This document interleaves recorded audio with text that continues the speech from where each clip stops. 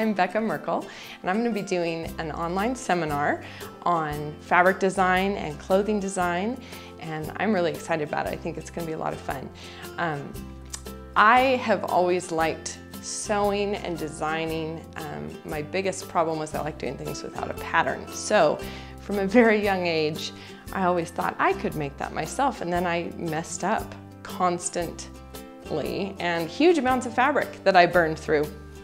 But eventually, I got a little, a little bit better at it.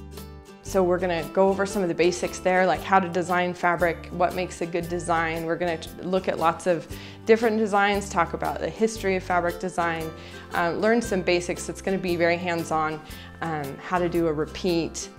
And then it'll be up to you if you wanna order fabric and, and do it, or you can just practice and play around with it. So I'm gonna assume that people know the basics, their way around a sewing machine. So it's not a basic sewing class. So I'm not gonna be going over like what is a zigzag stitch or anything. Um, I wanna do like a, maybe a Facebook group or Pinterest page so that everybody who takes the class can um, you know, show each other their designs and give each other feedback and um, talk about what they're thinking. And, and so we should be able to take um, a project through from sketch to um, yeah, designing the pattern, designing the fabric. You should be able to start um, start with nothing and end up with, yeah, a dress or a skirt or whatever you want to do.